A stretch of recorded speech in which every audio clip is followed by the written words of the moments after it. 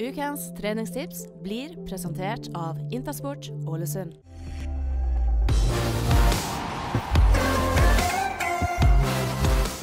Dagens øvelse er nedtrekk. Og det er en øvelse der du trener latissimus, eller populært kalt lets, som er den brede ryggmuskelen som sitter på sida av ryggen og danner den B-ryggen som mange vil ha.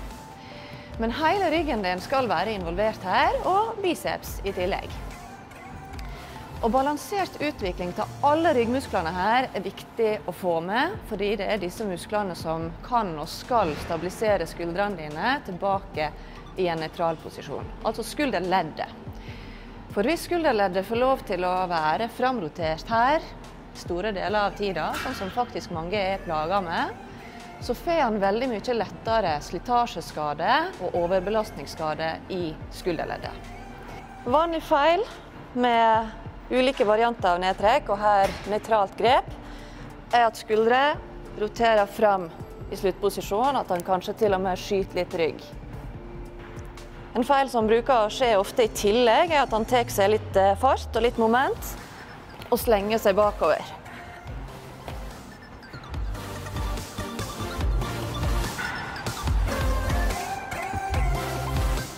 Skuldrene skal ned og tilbake i nøytral posisjon.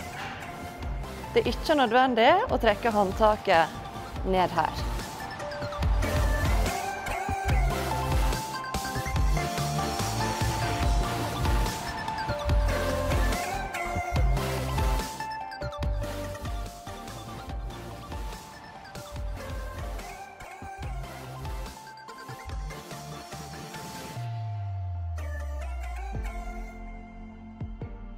Nedtrekk det er en glitrende god øvelse. Mange bruker den. og Jeg vil faktisk anbefale at enten du vil utvikle ryggen i muskelmasse, eller du vil ta vare på skuldrene dine, så er dette her en super øvelse å ha med.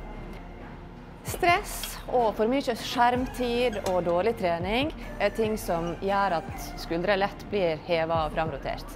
Som sagt, dratt ut av sin nøytralposisjon.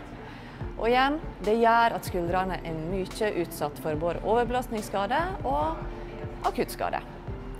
Så får du litt eh, orden og aktivering på ryggmusklene her, så er det en veldig god investering for å ha gode skuldre.